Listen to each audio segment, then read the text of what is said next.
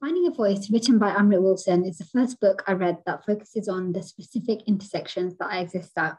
A second generation British Muslim woman, a daughter of a peasant Bangladeshi migrant. My mum only migrated here in 1991 and was only just born at the time this book was set around. Wilson's aptly named book aimed to give a voice to the woman of the time, but four decades later, I found much of the narrative resonated with my own experience and those that I see my community is tackling today. She inspired me to add my own voice to capture the details of what we feel is just life happening. So, to begin, mum before mum. My mum travelled to London a little after marrying my dad. I do not know much about my father pre mum. I know he'd been here for a few years prior, working in a restaurant. What I don't know is when he came, what his life was like, and how he coped. What did he study in college? Did he have any friends? Are they still friends? I don't know much about mum's life prior to being mum either. What was her journey like? What was she hoping for as she left her entire world behind? In 2019, I helped organize an event with Nujum Manoj around the death of Altab Ali and the way the community responded to this. This inspired me to ask my mum about the experiences of my dada, my great uncle, who had come here before my dad and brought, over, brought him over soon, um, soon after he came. Mum told me about the racist attacks, the poverty, surviving on just bread and water, the struggles with the cold, but also the jokes the men would play on each other. Not knowing how to read, they would use chalk to mark the doors on, walk, on walks, only for the friends to rub them off and watch their friends getting very lost. Dada passed away a few years ago, long before I cared about my heritage, and I have no contact with my dad, these small snippets open up a whole world I had forgotten to even care about. Mum as mum.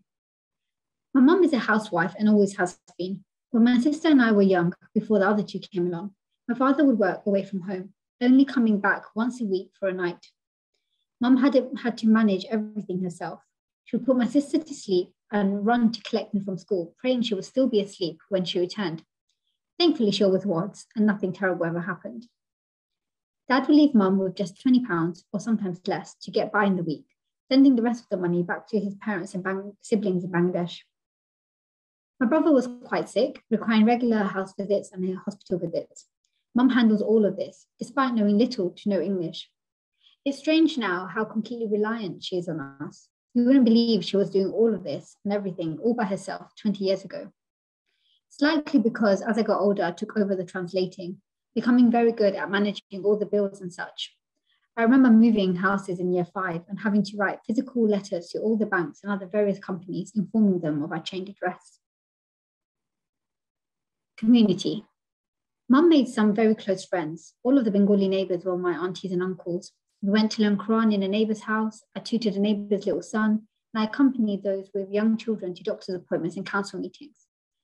Some of these friends became closer than family, one of these aunts I nicknamed my mum and my second mum. Mum talks to her every day, sometimes several times a day. My mother in law, who works as a teacher after arriving here, commented the other day on how she missed out on this community. She thought at the time that her colleagues would become her friends, but everyone had moved on. And she was left with friends scattered all around the UK and Bangladesh, rather than being in a relatively tiny pocket. She noted at the time she felt like she was winning in life, gaining all of these experiences, and now she felt like she had actually lost, lost out on a community. It made me reflect on what my own motherhood would be like and the subsequent friendships I will be left with 30 years later when the children have, have their own kids. Things feel different now because everyone works, but maybe that's how she felt at the time too. Izzat. Wilson also touches quite heavily on the topic of Izzat or dignity and how that plays into the perceived and actual role of women. My first memory of this, or rather of me maintaining it, is when I was instructed to stop playing with my cousin, Reed, mum's best friend's son. We'd grown up together playing gladiators and other made up games, and suddenly, when I was in year seven, I was told not to play with him no more. Mum said I would be bedjot or shameless if I continued, and so I stopped and collected that shame. Growing up, I was it was equally difficult and easy. I was a good child and that I didn't bunk school. I dressed as my parents wanted me to and didn't talk to boys. Equally, I did not have to play the good daughter role. I did not have as many chores to do at home, no more, no more than my brother does anyway. Mom did all the cooking and most of the cleaning, and I was given the space I needed to read and write. I was lucky in that sense. There was no fear of forced marriage. My dad abused us, but then again, whose father didn't? It was my mum who was brave enough to get rid of him. A few things happened, one thing led to another. Next thing you know, he was gone. We're happy without him, and I know it was a difficult time for my mum, not because she needed him, but because people felt she needed him. They were worried about me getting married and what others would say, and they were right. Many proposals were turned away when people found out. Recently, a friend of mine who's looking to get married herself was trying to explain the reacher and settler theory to me. In doing so, she said, Some may say that you're a reacher given your family situation.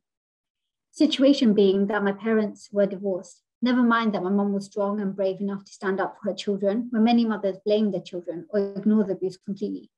Never mind that my mom was strong enough to stand up against her abuser. Or never mind that each of our four siblings are thriving in our respectful sectors, alhamdulillah, and thanks to her guidance and that of our adopted aunties and uncles. Belonging. So finding a voice made me realize my mum's voice was often drowned out by what is best for her children. And my own voice is often drowned out by what's going to make me successful in my mother's eyes. This book gave me a chance to consider my own voices individually, collecting the intricate details that we sometimes just assume is mundane, but I can now see are inherently political.